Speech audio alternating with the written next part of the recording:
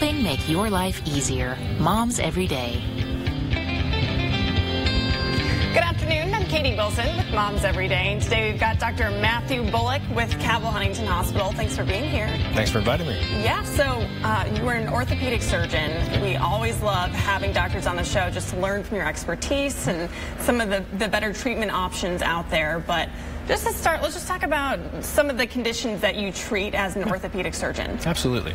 I'm one of the joint replacement surgeons at Cabell Huntington Hospital, and I primarily deal with uh, any type of hip or knee pathology, anything that would be like uh, osteoarthritis, uh, post-traumatic arthritis. We do primary and revision or redo joint replacement surgery.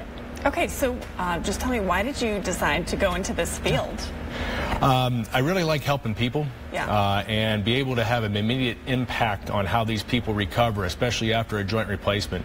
It's amazing. They wake up after surgery, their pain is gone, and they're walking almost normal after, mm -hmm. right after surgery. And, you know, I, I even work with some people who have some of those issues and stuff. So it, I totally know what you're saying. When when people who do end up getting that surgery, it's like night and day the next day. It has such an incredible impact. Um, there's also robotic surgery mm -hmm. now. Is that correct? Yeah, correct, correct. Um, the hospital. And uh, our division uh, purchased a new robot which helps us perform hip and knee replacement surgery uh, more accurately and precisely. Uh, it allows us to, in a sense, customize the surgery to fit the patient's anatomy the best, giving them the best implant so it'll last uh, as long as we can get it uh, with that patient. Interesting. So Cabell Huntington has that. Correct. Okay. They're already using it. Yeah. Um, Tell me, when, when did they get that? Uh, it's been about uh, eight weeks ago. Okay, so it's, it's recent. Correct, recent, yes. Awesome. So have you been able to use it yeah. since with patients? We've used it on about 25 uh, or so cases, uh, and the results have been phenomenal. Uh, patients report less pain, uh, easier, faster recovery. we look at it from our perspective. We're able to get them moving and mobilized a lot quicker as well. Awesome. What has been the response from patients? Because I feel like it'd be a 50-50. Uh, you know, one side people may think, you know, robots, I guess that's more accuracy. But yes. then again, taking it out of the doctor's hands, they right. might be a little, you know, concerned going right. in. We look at the robot as a tool to help us perform surgery. The, uh, the surgeon's in control of, of, the robot at all times.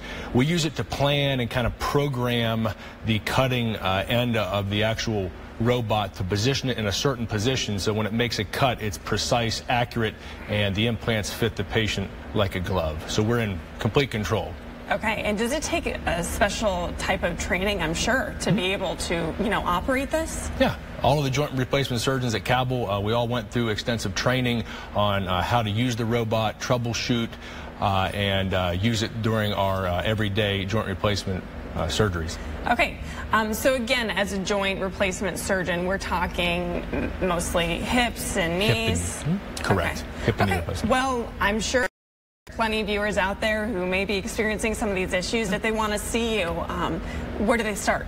Absolutely. Um, our offices are at Cabell Huntington Hospital, and we also have our uh, new office uh, in uh, Teays Valley, uh, right off the interstate. Um, and we're seeing patients at uh, both locations. Okay. And again, uh, just to clarify, you are just surgeon, right? Would you see someone if they didn't need that procedure? Correct. We would still see patients with hip and knee pain, hip okay. and knee problems. We, uh, we actually look at them and evaluate them if they're a good surgical candidate. Okay. Uh, so we have about a minute left. Is there anything else that you want our viewers to know about you as a surgeon in this area? Yeah, um, I am from West Virginia. I'm from the northern panhandle in uh, Brooke County.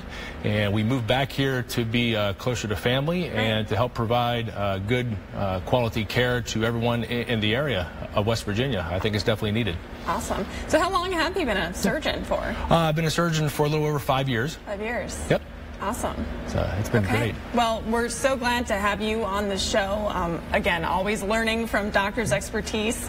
Um, and I think it was really interesting to hear about the, the robot yep. surgery. So glad that, you know, people know that is an option. Um, is that extra cost, just out of curiosity? Uh, extra costs uh, to the patient, no. Uh, we're usually able to negotiate with the insurance companies and get things covered. Okay. Well, doctor, thanks so much again. and guys, me. have a great day.